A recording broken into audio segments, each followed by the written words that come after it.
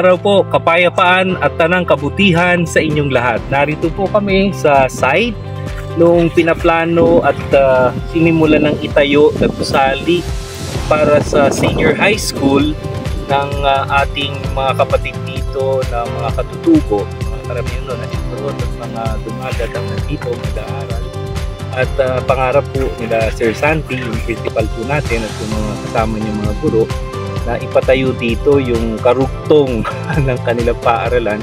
Kasi hanggang grade 10 lang po eh doon sa kabilang site eh kulang po sila ng building. So ang pangarap po at uh, panalangin ay sana nga po sa lalong madaling panahon sa tulong ng mga tao ay makapagpatayo rito ng gusali para sa grades 11 and 12 at siguro po pwedeng simulan sa tech book na track para sa ganon yung mga estudyante ka-graduate dito mabigyan na ng pangunahing skills bago pa sila makyat sa mas mataas na level ng pag-aaral sa mga colleges at universities sa ibang lugar.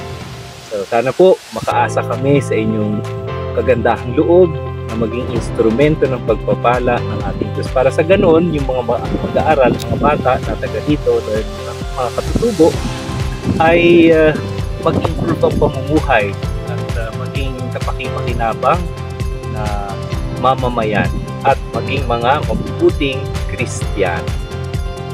Yun po ang ating samot na lang. God bless us. Together with the Capuchin JPIC, please like and subscribe ang Biyahe Bro!